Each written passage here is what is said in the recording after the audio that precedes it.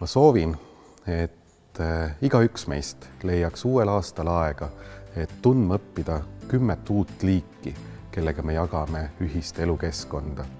et, et õppida neist hoolima ja vaimustuda taas nende geniaalsusest ja süsteemsusest.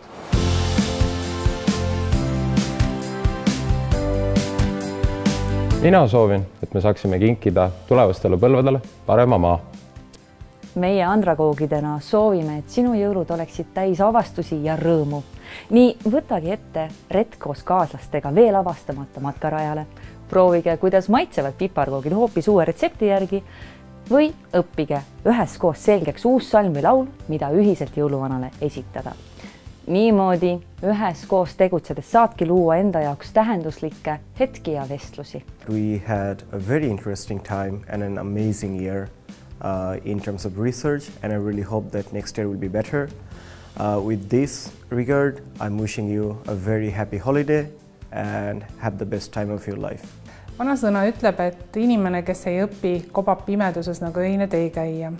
pimedust on meil siin Eestimaal piisavalt palju. seega soovin meile kõigile õppimis- ja õpetamisrõõmu, et maailm meie ümber oleks helgem ja targem.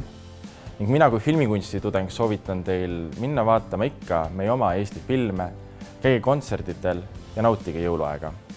olge ikka uudishimulikud, õppige midagi uut ja kuulake, vaadake, millega tegelevad meie teadlased. Minu selle aasta põhiline uurimisteema on olnud kuulmistaju.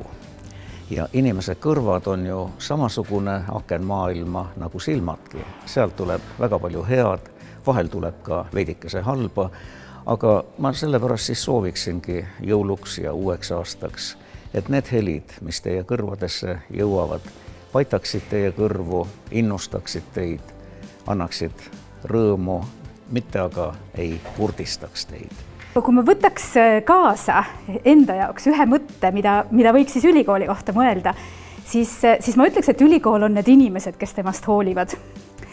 ja iga okas loeb selles, selles tees.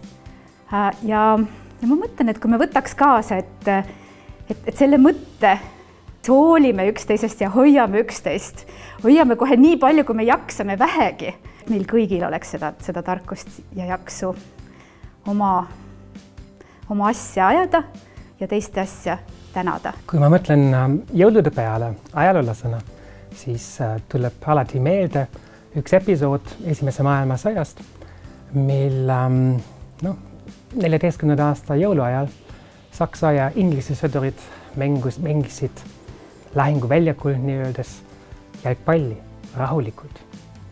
ja see ongi see, mis, mis meile kõigile praegu on, on väga vaja kui me tahame näiteks planeedi päästa kliimakatastroofist, rahu.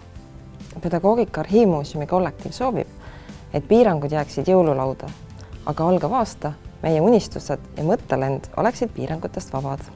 kas te teadsite, et kahekümnenda sajandi alguses Ruhnu saarel oli selline jõulupühade alguse traditsioon kell kuus õhtul helistas kellamees kirikutonnis pühade kellasid, mis kõlasid üle küla ja andsid teada pühade algusest.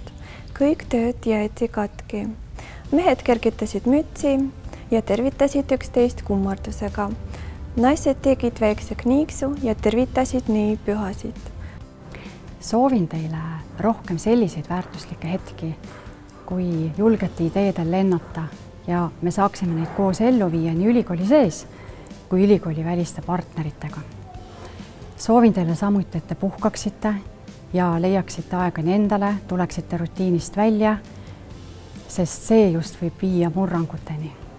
Soovin kõigile ilusat jõulu, head uut aastat ja seda, mida filmirahval niigi jagub, see on siis muula vastupidavust ja, ja sitkust ja leplikkust teha tööd, mille otstarbest mitte alati kohe tulu ei tule aga mille tulemusena kunagi särab midagi, mille nimel kõike seda teha tasus.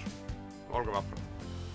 Soovin teile Haapsalu kolledži pere poolt ilusat ja harrast jõuluaega ja kutsun teid kõiki pühade ajal väisama imelist väikelinna Haapsalut ja ma olen üsna kindel, et äh, kui te olete kas või paaritunnise rännaku teinud meie idüllilises Haapsalus tunnetate te seda, et te olete õnnelikum ja vaimselt tervem. ja mida rohkemat ongi meil tegelikult elus vaja, kui seda, et olla terve ja olla õnnelik. Jõulupühadel võta aeg maha ja puhka. unusta argimured ja nutiseadmed. söö vähem ja liigu rohkem. naudi talvist loodust. ja mis põhiline, ole oma lähedastele päriselt olemas. lumi katab puid ja hoove, tähed on kui hõbe, südamlikke jõulusoove saadan sulle, sõber. head sõbrad, ma soovin teile head jõulusoojuse kogemist ja meeleolukat aastavahetust